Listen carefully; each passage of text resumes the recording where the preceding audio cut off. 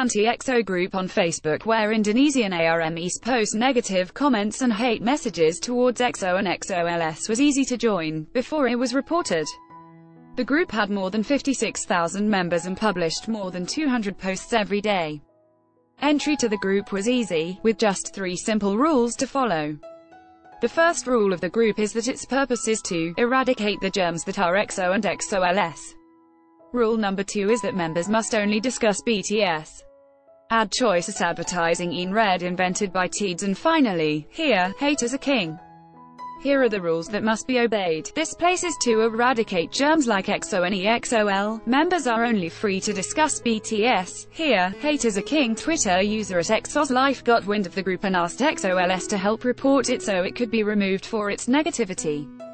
It was retweeted and reported hundreds of times. If you are Indonesian EXOLs and on FB please report this toxic group with 56k members. This group for trashing EXO and EXOLs also harassment. OFC Most of the members are BST fans. And around the world EXOLs if you have FB please report too. Please spread this, at Sehun Universe netizens are curious as to why there are so many antis in Indonesia and can't believe the group has so many members. Damn how much free time do these people have. Gross. Can't believe 56k people went along with it. All those times wasted and could have been used to support their faves you underscore underscore you.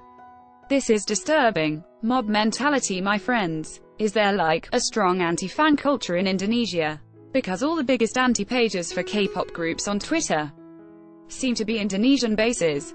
There's a lot. There are many EXO line fanbases ACC that often shade BTS. There is dedicated line fanbase for Twice Anti-2 LOL. 56k people on that FB page have no lives but to hate a K-pop group all day. What is wrong with them? spending all of their lives hating a K-pop group and making anti-fan forums and groups.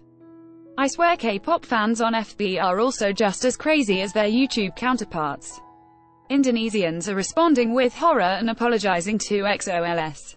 As an Indonesian this is embarrassing AF, and yeah, I'm gonna say the truth that some Indonesians are keyboard warrior, not most of us, but still, I believe most are actually still a student, or someone who isn't working yet. For some reason they enjoy leaving hate comments for any famous people. Fortunately, a keyboard warrior is a keyboard warrior. I don't think they will ever go as much as terrorizing with blood, etc. They won't ever have the guts to do anything in RL, and Twitter ARMYs are helping out.